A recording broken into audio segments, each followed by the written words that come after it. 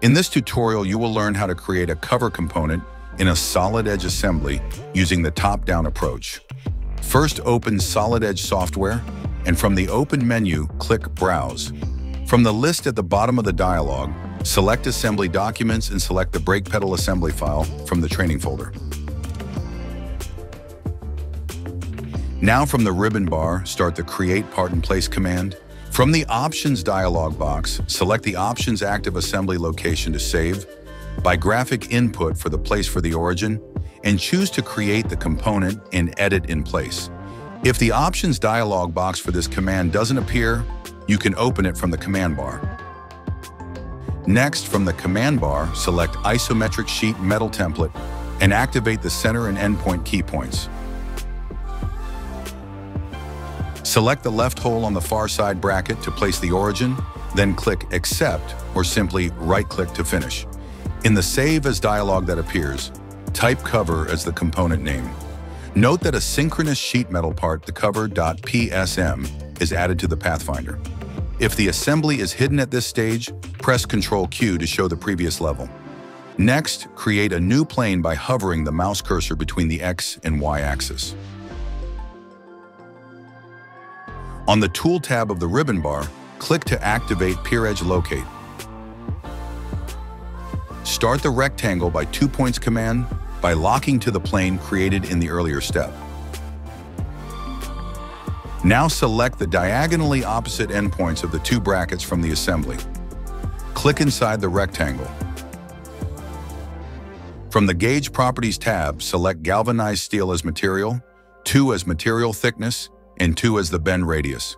Then click Apply to apply it to the model.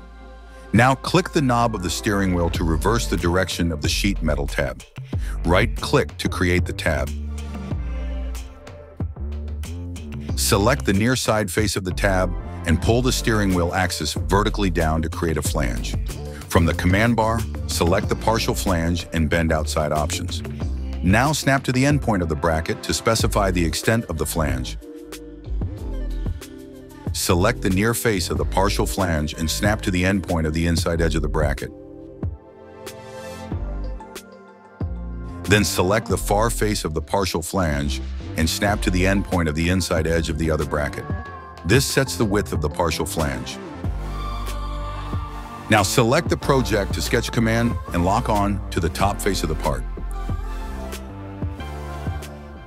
Use the quick view cube to view the holes on the bracket then select the hole edges to project them onto the sheet metal part.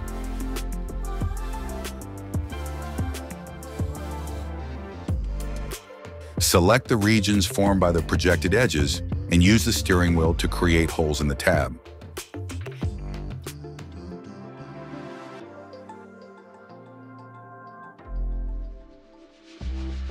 Now start the Recognize Hole command and convert the circular cutouts to holes features. Note that the holes are added to the Pathfinder. Start the Recognize Hole Patterns command to transform the individual holes to a pattern. Now note that the pattern is added to the Pathfinder. Now draw a circle of diameter 48 millimeters by locking on the front face of the partial flange.